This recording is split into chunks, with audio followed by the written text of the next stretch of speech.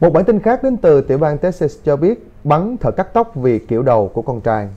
Văn phòng Cảnh sát trưởng hạt Harris, bang Texas ở Hoa Kỳ cho biết cảnh sát hôm 21 tây tháng 12 được thông báo tới tiệm cắt tóc Magic ở đường Friends và vì một người đàn ông đã nổ súng tại đây.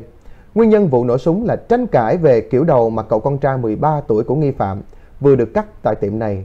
Cảnh sát Wallace Wyatt cho rằng cậu bé về nhà nhưng sau đó đã quay lại tiệm. Họ đã sửa tóc miễn phí cho cậu bé nhưng tranh cãi đã nổ ra. Bố của cậu bé dùng súng bắn vào nam nhân viên cắt tóc rồi bỏ trốn khỏi hiện trường ngay sau khi cảnh sát đến. Cảnh sát hiện đang truy tìm người đàn ông này. Wyatt đã nói thêm rằng đó là một trong những điều tồi tệ nhất ông đã từng nghe, đặc biệt là khi con trai của anh ta đứng đó và chứng kiến những gì bố mình làm.